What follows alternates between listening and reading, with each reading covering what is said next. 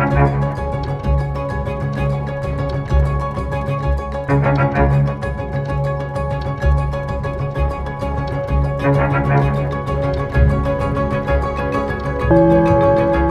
ist das erste deutsche Fernsehen mit den Tagesthemen.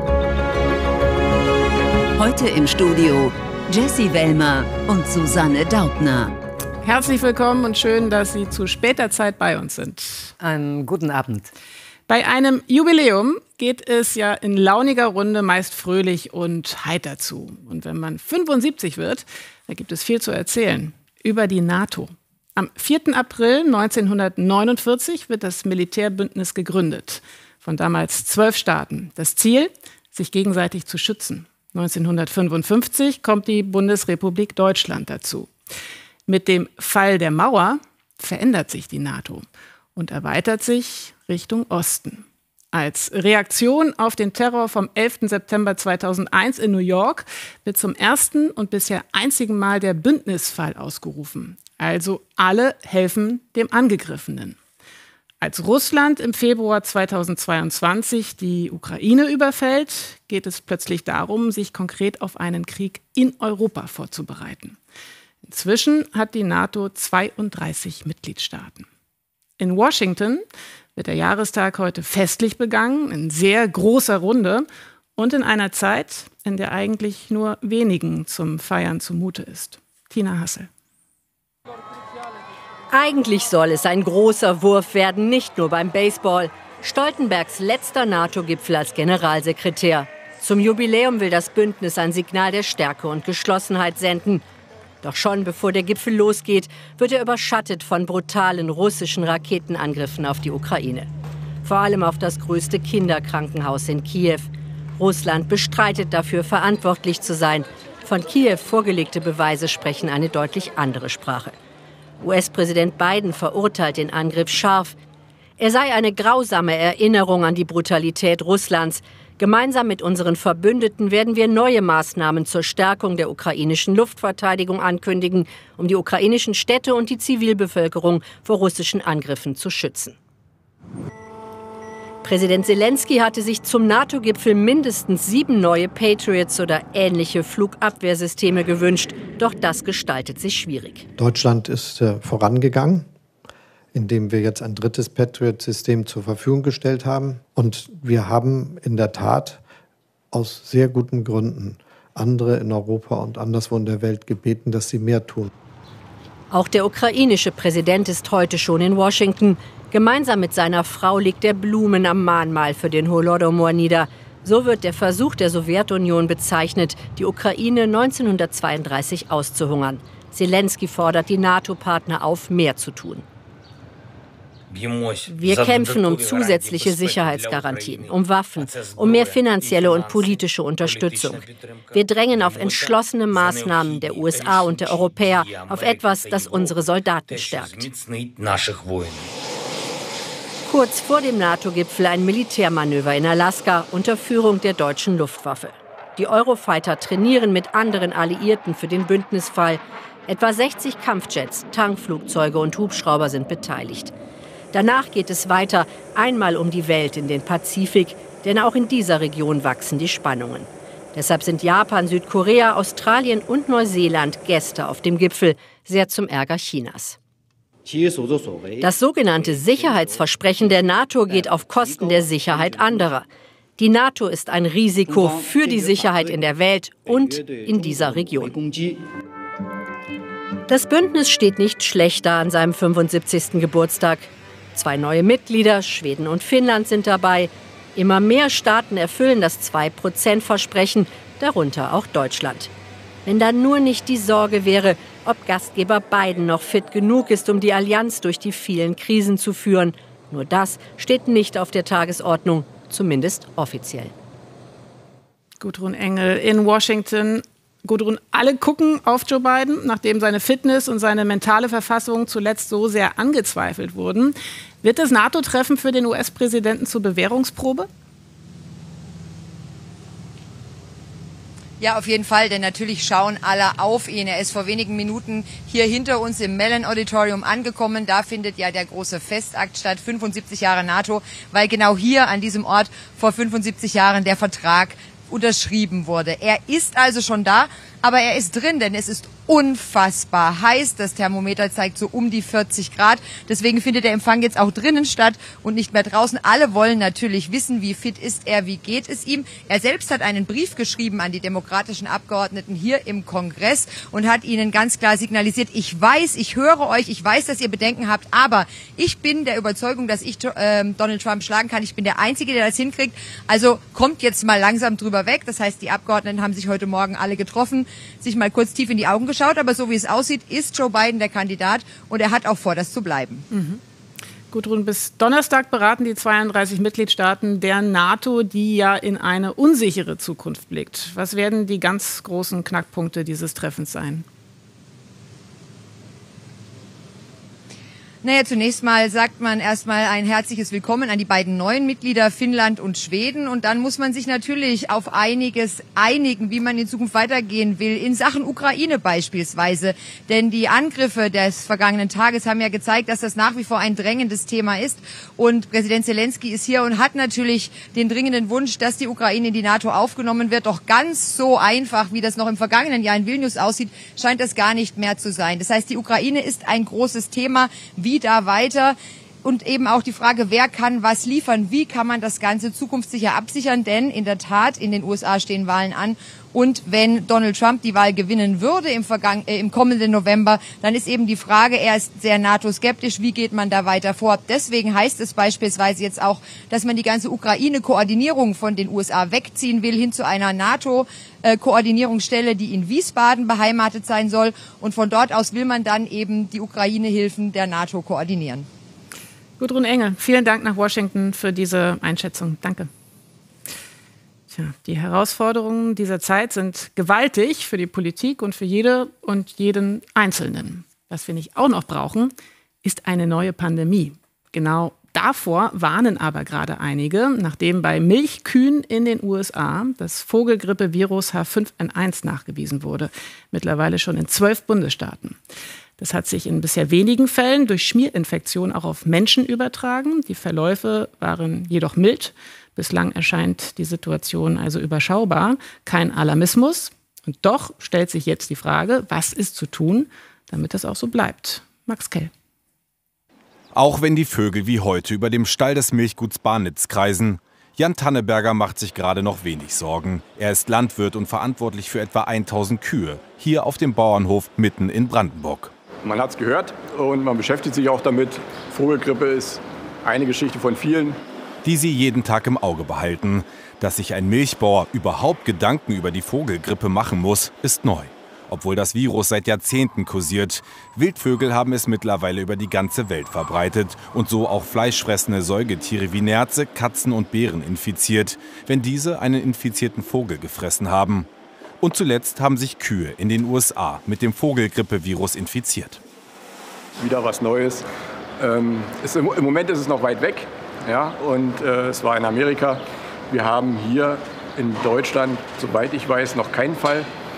Und äh, wir selbst hier haben nur Tiere, die aus dem eigenen Bestand sind. Also es wird kein Tier zugekauft von woanders her. Ähm, das bringt auch schon ein bisschen Sicherheit. Anders die Situation in den USA. Mindestens 140 Rinderherden in verschiedenen Bundesstaaten befallen mit dem wandlungsfähigen Influenza-A-Virus. Die Dunkelziffer wohl deutlich höher. Wie genau das Virus dort auf die Kühe überspringen konnte, wird noch untersucht. Die Fälle jetzt in den Rindern sind etwas Besonderes, weil normalerweise sind Rinder für solche Viren nicht sehr empfänglich und es gab so etwas auch noch nicht. Deswegen schon diese erhöhte jetzt Aufmerksamkeit in Richtung dieser Situation und auch der ganz klare äh, Hinweis aller Experten, diese Situation sollte auch gestoppt werden. Denn seit April gibt es in den USA auch vier bekannte Fälle von Infektion von Kuh zu Mensch, bisher mit milden Verläufen. Finnland hat bereits reagiert und impft als erstes Land weltweit Risikogruppen wie Farmarbeiter oder Tierärzte. Impfungen, die wohl auch bei weiteren Mutationen des Virus wirksam wären. Wir haben eigentlich schon Impfstoffe, sie müssten dann angepasst und dann produziert werden. Also was anderes als bei Corona, als es noch gar nichts gab und man selbst die Prototypen erstmal herstellen musste. In Deutschland wurde das Vogelgrippevirus bisher aber weder in Kühen noch in der Milch nachgewiesen. Derzeit gilt, vorerst keine Sorge bei kreisenden Vögeln über einem Kuhstall. Ich spreche mit dem Virologen Martin Beer. Er ist Vizepräsident des Friedrich-Löffler-Instituts, dem Bundesforschungsinstitut für Tiergesundheit. Guten Abend, Herr Beer. Guten Abend. Es gibt Experten, die jetzt sagen, eine neue Pandemie ist so gut wie sicher. Würden Sie sich da anschließen? Man muss das Geschehen insgesamt einordnen. Und da ist der Status nach wie vor, dass das Risiko, das von diesem H5N1-Virus ausgeht, als gering anzusehen ist. Das sagen nicht nur die WHO, sondern auch die Europäische Gesundheitsbehörde ECDC. Wir sind in einer Phase hoher Aufmerksamkeit. Das Geschehen muss genau beobachtet werden, auch das Geschehen in den USA. Mhm. Aber es ist keine Erhöhung des Besorgnisgrades im Moment. Mhm. Das Risiko für die Gesamtbevölkerung wird als gering eingestuft. Okay. Noch betrifft, Sie sagen es gerade, das Virus vor allem Milchkühe in den USA und verbreitet sich dort aber sehr schnell. Wäre eine Entwicklung wie in den USA auch hierzulande denkbar? Das ist äußerst unwahrscheinlich. Diese Art Virus gibt es bereits seit vielen, vielen Jahren. Und das Geschehen in den USA scheint wirklich ein sehr seltenes Ereignis zu sein. Theoretisch ist es möglich, aber wir sehen überhaupt keine Hinweise. Also wir haben in Europa, in Deutschland keinerlei Hinweise auf ein ähnliches Geschehen. Und wir haben auch vorsorglich bereits Untersuchungen durchgeführt, mehrere hundert Tankmilchproben. Dort kann ich das Virusgenom nachweisen, wurden in Deutschland untersucht, auch Serumproben von Tieren an der Küste, die vielleicht Kontakt zu infizierten Wildvögeln haben könnten. Und die waren alle negativ. Also mhm. keine Hinweise auf ein ähnliches Geschehen bei uns. Warum ist es denn so wichtig, das Virus bei den Kühen zu stoppen? Das ist das erste Mal, dass dieses Virus, was ja eigentlich ein Vogelvirus ist, das ist seit mehreren Jahren das Virus, das den Namen 2344b trägt und sich fast global verbreitet hat. Eben auch über Europa nach Nordamerika, aber auch Südamerika.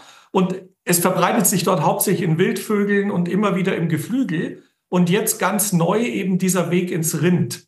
Und der war offensichtlich möglich, weil das Rinderäuter die gleichen Rezeptoren trägt wie Vögel. Also wir haben ein sehr spezielles Geschehen hm. Und das Virus wird dann im Melkvorgang offenbar weitergegeben von Kuh zu Kuh. Wir wollen natürlich nicht, dass sich so ein Virus, was es bei Rindern noch nie gab, bei Wiederkäuern, an eine neue Spezies anpasst. Das ist ja auch eine Spezies, die engen Kontakt mit Menschen haben kann, Lebensmittel produziert. Und deswegen ist es sehr wichtig, dass man das Geschehen unter Kontrolle bringt, bevor das Virus sich besser an das Rind anpasst. Mhm. Sie haben vorhin schon gesagt, die Gefahr für den Menschen ist im Moment sehr gering. Vielleicht können Sie es noch mal ein bisschen konkretisieren. Wie weit sind wir noch davon entfernt, dass das Virus von Mensch zu Mensch überspringt? Wie wahrscheinlich ist das?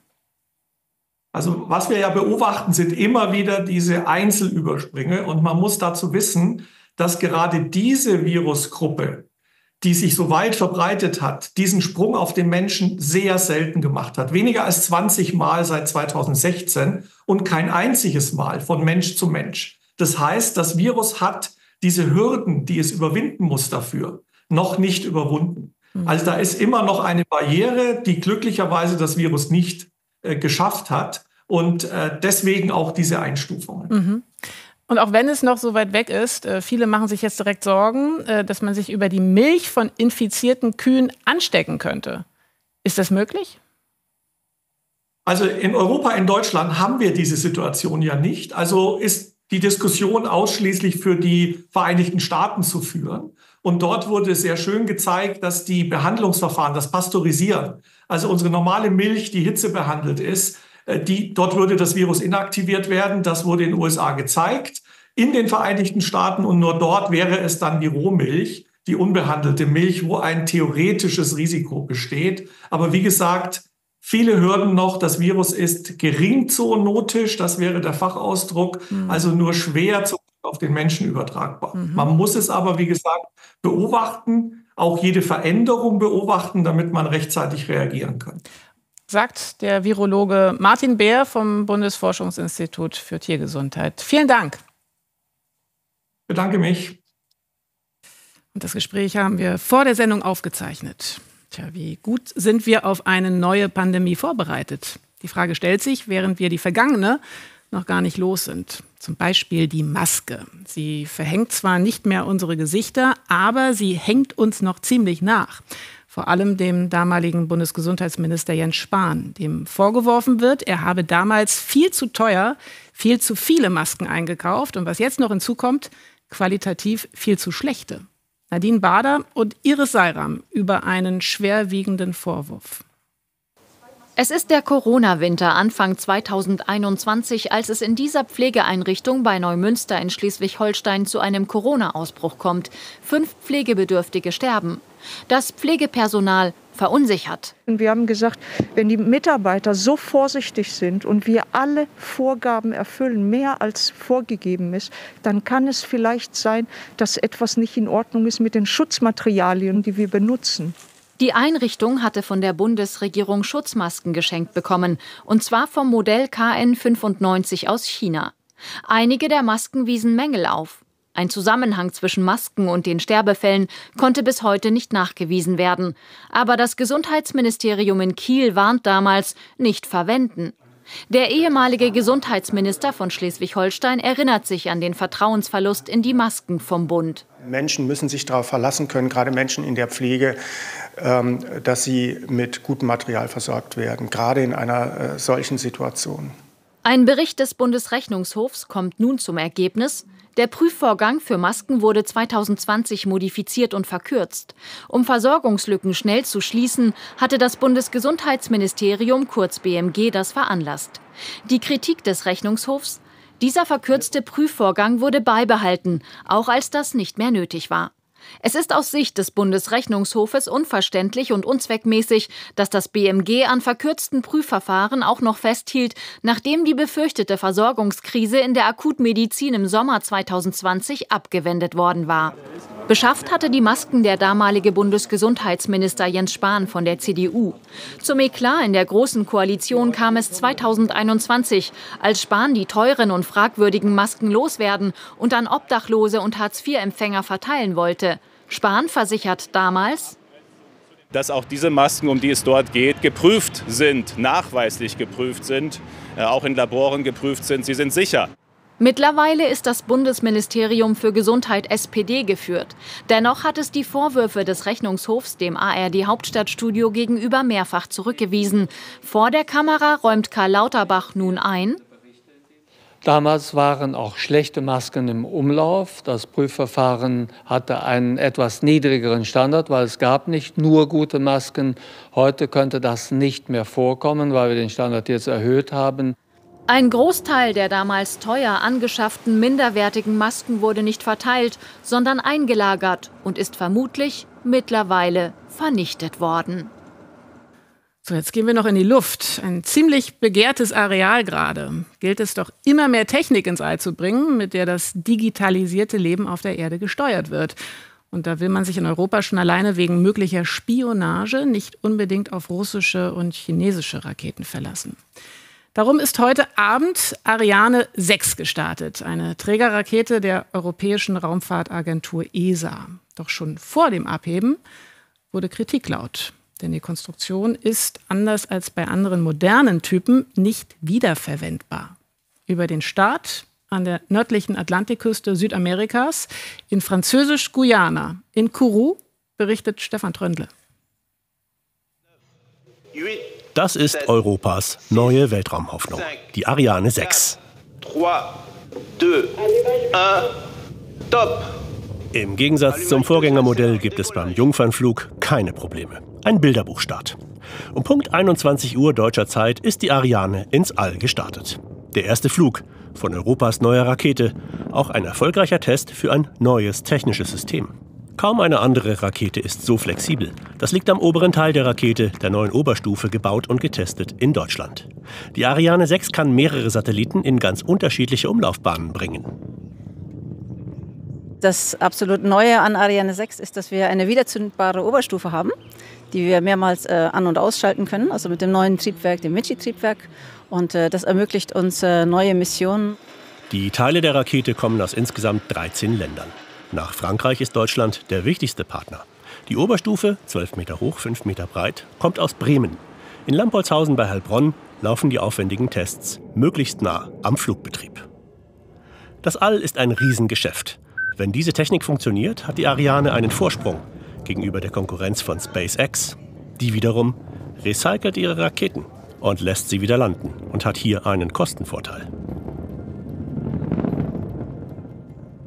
Die Ariane 6, von der Kritiker sagen, sie sei bereits veraltet, soll also Europa wieder einen eigenen Zugang ins All bringen.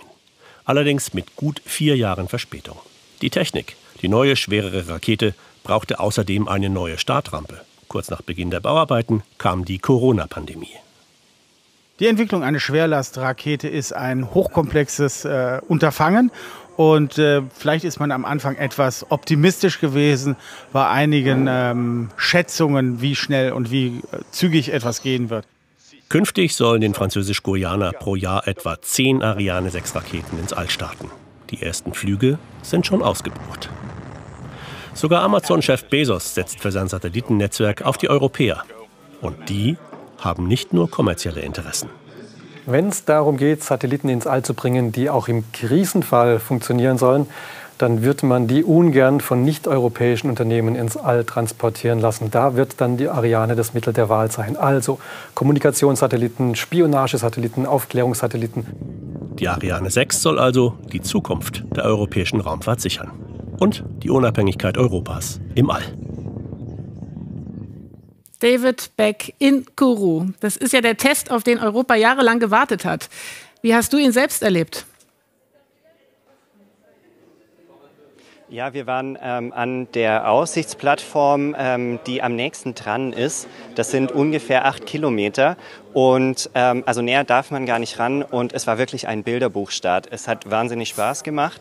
Ähm, das Licht der Booster war unglaublich hell. Daran, äh, das habe ich nicht erwartet. Und ähm, dann nach ungefähr 20 Sekunden kam der Schall erst. Und da hat man die Gewalt dieser Rakete wirklich gespürt. David, das Gelingen dieses einen Starts gilt als unheimlich bedeutend, während Elon Musk praktisch fortlaufend Raketen in den Himmel steigen lässt. Wie weit fliegt denn Europa gerade hinterher? Ja, gar nicht so weit eigentlich. Vor allem jetzt äh, mit dieser Ariane 6, die jetzt flugfähig ist, ähm, die Ariane 6 hat eine andere Aufgabe als die Raketen von Elon Musk, die Falcon 9. Ähm, die Falcon 9 ist da, um Geld zu machen. Und die Ariane 6 ist in erster Linie dazu da, um Europa den Zugang zum All wiederzugeben, dass wir unsere Satelliten ins All schießen können, selber entscheiden können, wann. Natürlich äh, soll auch so ein bisschen der kommerzielle Markt angezapft werden. Für den Amazon-Konzern werden zum Beispiel Satelliten ins All geschickt. Also damit will man dann auch noch ein bisschen Geld machen. David Beck, Vielen Dank für deine Einschätzung aus Kourou in Französisch-Guyana. Dankeschön. So, und weitere Nachrichten des Tages hat jetzt Susanne. Der indische Premierminister Modi hat bei einem Treffen mit Russlands Präsidenten Putin zum Dialog für Frieden in der Ukraine aufgerufen. Krieg könne keine Probleme lösen. Zum russischen Angriff auf das Kinderkrankenhaus in Kiew sagte Modi in Moskau, der Tod unschuldiger Kinder sei sehr schmerzlich. Er vermied es aber weiterhin, den russischen Überfall auf die Ukraine grundsätzlich zu verurteilen. Die Moskauer Justiz hat Haftbefehl gegen die Oppositionspolitikerin Julia Nawalnaja erlassen, die Frau des verstorbenen Kreml-Kritikers Nawalny. Sie werde verdächtigt, Teil einer extremistischen Organisation zu sein, berichtet die Nachrichtenagentur Interfax. Nawalnaja wurde zur Fahndung ausgeschrieben. Sie lebt im Exil. Für den Tod ihres Mannes hatte sie wiederholt den russischen Präsidenten verantwortlich gemacht. Israels Militär hat eine Zwischenbilanz seines letzten Einsatzes in Gaza-Stadt gezogen. Mehr als 150 palästinensische Terroristen seien getötet worden. Die UN kritisierten unterdessen neue Aufforderungen zur Flucht in Gebiete, in denen israelische Militäroperationen durchgeführt würden. Im Süden des Gazastreifens soll in der Nähe der Stadt Khan Yunis eine Flüchtlingsunterkunft bei einer Schule getroffen worden sein. Mitarbeiter von Nachrichtenagenturen vor Ort berichten von mehr als 20 Toten. Strom könnte für die Verbraucher in Deutschland künftig noch teurer werden, weil der Bau zusätzlicher Gasheizkraftwerke finanziert werden muss. Die geplanten Kraftwerke sollen eingesetzt werden, wenn nicht ausreichend erneuerbare Energie produziert werden kann. Mehr dazu jetzt von Markus Gürne. Konkret plant die Bundesregierung eine zusätzliche Umlage für Stromverbraucher. Damit sollen neue Gaskraftwerke gebaut und bestehende modernisiert werden. Zwar ist die Höhe noch unklar, aber die Belastung für Verbraucher würde dadurch weiter steigen. Schon heute beträgt der Anteil von Steuern, Abgaben und Umlagen an den Stromkosten für Haushalte rund 27 Prozent. Die neue Umlage soll laut Medienberichten eine kleine Nachkommastelle betragen. Die Gaskraftwerke sind Teil der Pläne für ein neues Kraftwerkssicherungsgesetz, auf das sich die Ampel vergangene Woche geeinigt hatte. Nach diesen Plänen sollen neue Gaskraftwerke gebaut werden, die später mit klimafreundlicherem Wasserstoff betrieben werden können. Bestehende sollen umgerüstet werden. Wenn uns jemand irgendwie anders vorkommt, sind wir ganz schnell bei der Bemerkung, du tickst ja nicht ganz richtig. Hm? Bei solchen kurz hingeworfenen Sätzen vergessen wir meist, was sie wirklich meinen. Wer nicht richtig tickt, der tickt falsch. Der hat psychische Probleme. Und genau mit solchen Vorurteilen, aber auch mit den Ängsten der wirklich Erkrankten beschäftigt sich die Patientenantenne.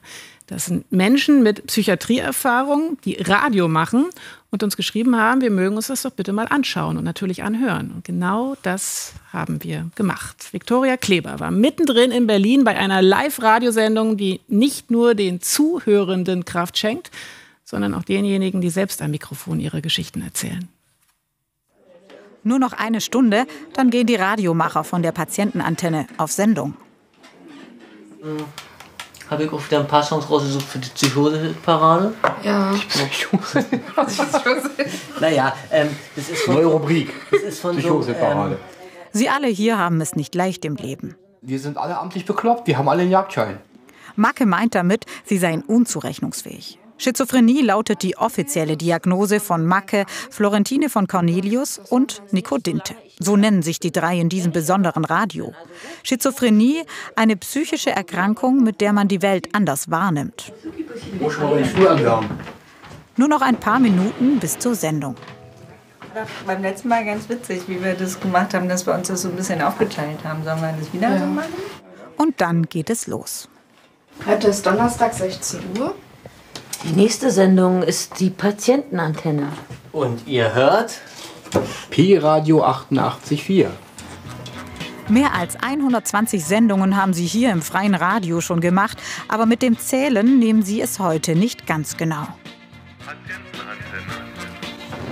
Ja, willkommen bei unserer ähm, 3000. Sendung. Also für alle, die die letzten 2999 Sendungen verpasst haben, ähm, Pech gehabt. Im Programm Lieder von Künstlern, denen es ähnlich geht wie den Radiomachern. Ich hab noch einen Koffer in der Psychiatrie. Mal sehen, wann ich hier rauskomme. Vielleicht nie. Ich hab noch einen Koffer. Vielleicht muss das so sein. Wie der Künstler in seinem Song sprechen auch Macke, Florentine von Cornelius und Nico Dinte über ihre Krankheit. Das kostet sie jedes Mal Überwindung. Ihren Hörern erzählen sie von ihrem Schmerz. Vor rund 13 Jahren hat mir dann wirklich sprichwörtlich die Beine weggerissen. Stimmenhören hat angefangen. Und wenn man wirklich den ganzen Tag zugequatscht wird, das ist teilweise wirklich, man kriegt so eine Birne, so extrem. Und dann halt dann irgendwann mal dann auf Arbeit dann rumgeboten, ja, jetzt halt mal die Fresse. Ich habe meine Arbeit verloren, ich habe meine Wohnung verloren, ich habe ja den Kontakt zu vielen guten Freunden verloren. Also ähm, ich habe natürlich meine Ausbildung erfolgreich abgebrochen und die Ausbildung war so stressig und dann gleichzeitig noch die Psychosen, die immer wieder reingekrochen sind. Ähm, wenn Stress, sehr, sehr hohe Stresssituation ähm, da ist, dann kann es schon mal passieren, dass ich so trotz Medikamente kippe und dann plötzlich wieder so ganz sogar Stimmen höre. Also das kann schon passieren. Arbeiten, das ist für sie derzeit nicht möglich. Die drei leben im betreuten Wohnen. Andere Psychoseerfahrene hören ihnen in Berlin und auch anderswo übers Internet gerne zu, weil sie hier ihrer Krankheit Raum schaffen. Die Patientenantenne ist ihre große Aufgabe. Nach einer Stunde ist sie für heute geschafft. Und dann ähm, würde ich sagen, können wir uns langsam verabschieden. Ne? Tschüss, bis in zwei Wochen. Ciao. Fanny Herzmann ist ihre Betreuerin. Vor fünf Jahren hatte ihr Kollege die Idee, die Schizophrenie-Erfahrenen mit der Sendung aus ihrem Alltag rauszuholen. Durch das Radio hätten die drei ihre eigene Geschichte besser gelernt zu akzeptieren. Es ist ja auch ein Schicksal. Ne? Das ist eine der schwersten Erkrankungen, die man haben kann. Und das muss man erst mal an annehmen können. Nicht immer schaffen es alle drei hierher zu kommen. Dabei wollen sie mit ihrer Radiosendung viel erreichen. In erster Linie geht es mir tatsächlich persönlich darum, für, zur Entstigmatisierung beizutragen. Es gibt die einen, ähm, die sind sehr wohlwollend und ähm, die sind sehr tolerant und begegnen dir auf Augenhöhe, aber es gibt leider auch die anderen, die Angst vor dir haben. Für heute ist die Sendung gelaufen. In zwei Wochen versuchen sie es wieder auf ein neues. Irgendwie wurmte es ja doch noch, dass heute Abend die Spanier im Halbfinale standen und nicht die Deutschen. Aber wenn es doch schon sein musste, dann sollte doch wenigstens Spanien ins Finale einziehen und dann bitteschön auch Europameister werden. Denn in einem Turnier gegen den späteren Sieger rausgeflogen zu sein, das macht zwar nicht glücklicher, tröstet aber wenigstens etwas über den Kummer hinweg. Tja, jetzt sind wir diesem Zuspruch näher gekommen. Spanien gewinnt gegen Frankreich mit 2 zu 1 und spielt am Sonntag um den Titel. Ralf Scholz. Frankreichs Kapitän Mbappé erstmals wieder ohne Maske nach seiner Verletzung, startet nach herber Kritik an seiner Leistung perfekt ins Halbfinale. Mbappé selbst mit der Übersicht, Kolomyani mit dem Kopfball zur Führung, erst neun Minuten gespielt. Schon die dritte Vorlage zu einem EM-Treffer von Mbappé, Myani konsequent per Kopf, unhaltbar für Mignon. Die Antwort der Spanier lässt nicht lange auf sich warten. Lamin Yamal kommt mit einem tollen Schuss zum Ausgleich, 21. Minute. Mit diesem Tor wird der 16-Jährige zum jüngsten Torschützen der EM-Geschichte. Ein besonderer Treffer für Spanien und Jamal. Frankreich verunsichert Spanien, legt nach. Zu kurzer Abwehr, klasse Finte von Olmo, den Schuss fällt Koundé unglücklich ins eigene Tor ab. 2 zu 1 für Spanien nach 25 Minuten. Die offizielle Entscheidung kein Eigentor, sondern der dritte Treffer für Dani Olmo im Turnier. Spanien führt verdient zur Pause. Frankreich erspielt sich in der zweiten Hälfte durchaus Chancen. Aber weder Chouameni noch Mbappé oder schließlich Hernandez finden den Weg ins spanische Tor. Die Spanier verteidigen routiniert die knappe Führung, die französischen Fans zusehends verzweifelt. Frankreich versucht alles, aber auch die letzte Chance von Griezmann segelt ins Aus. Frankreich geschlagen und Spanien erreicht nach einer kampfbetonten zweiten Hälfte das Finale dank des Traumtores von Lamin Yamal. So, und draußen gab es ja heute tagsüber die oft schon bedenkliche Dampfgarstufe 2. Sven, wie geht es weiter mit dem Wetter? Ich weiß gar nicht, ob das zwei oder drei war, aber das äh, ist irgendwo die Region gewesen. Und die nächsten Tage, jetzt kommt wieder mein Lieblingswort, wird es eher wieder wechselhaft. Schauer und Gewitter, gerade schon angekommen im Westen und Nordwesten Deutschlands, werden uns dann wieder häufiger beschäftigen. Wir gucken aber kurz mal auf die Temperaturspitzentabelle. Da sind sich einige Orte ziemlich einig geworden. Das war irgendwie der 34,3 Grad Hitzetag. Ab 30 ist ein Tag ja per Definition ein heißer Tag. Karlsruhe und auch Waghäusel-Kirlach, beide in Baden-Württemberg und Wörth am Rhein in Rheinland-Pfalz haben diese 34,3 geschafft. Und ich habe einen Kollegen gehabt früher, der hat immer gesagt, nach der Hitze kommen die Blitze.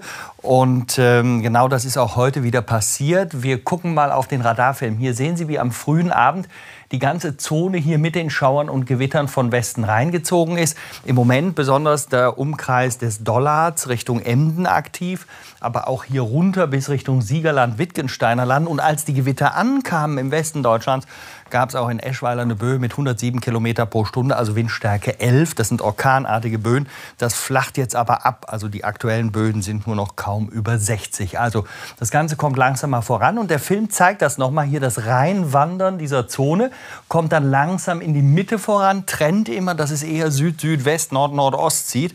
Und deswegen ist es im Osten lange trocken und klar. Aber morgen scheint es am Vormittag die Sonne rein und dann gibt es in der Osthälfte mit dem Frontensystem die stärksten Schauer und Gewitter, drum auch unser Achtungszeichen, während es im Westen durch neuen Hochdruckeinfluss ein bisschen ruhiger wird. Temperaturen in den Frühstunden sehr weit oben, nicht unter 20 Grad, heißt Tropennacht, Berlin und Dresden, so Kandidaten für 22 Grad. Und morgen am Nachmittag geht es in der Osthälfte noch mal auf 30 oder in der Lausitz sogar drüber bis 33 Grad. Für die meisten 25 bis 29. Und dann kommt noch der Ausblick für Donnerstag und Freitag. Weiterhin gewittrig, wechselhaft. Ich sagte es, Donnerstag noch bis 30, Freitag im Osten bis 31 Grad. Von Nordwesten dann ein bisschen in Anführungszeichen kühler, aber eben schwül. Jessie. Wir sagen ohne Anführungszeichen herzlichen Dank, lieber Sven Plöger. Mitternacht nährt sich und wir sind durch mit unserem Programm. Weiter geht es jetzt hier mit einem Fall aus der Serie ARD Crime Time. Mhm, und wir sehen uns morgen wieder, dann in der Pause des zweiten EM-Halbfinals Niederlande gegen England gegen 21.50 Uhr so um den Dreh. Tschüss. Tschüss.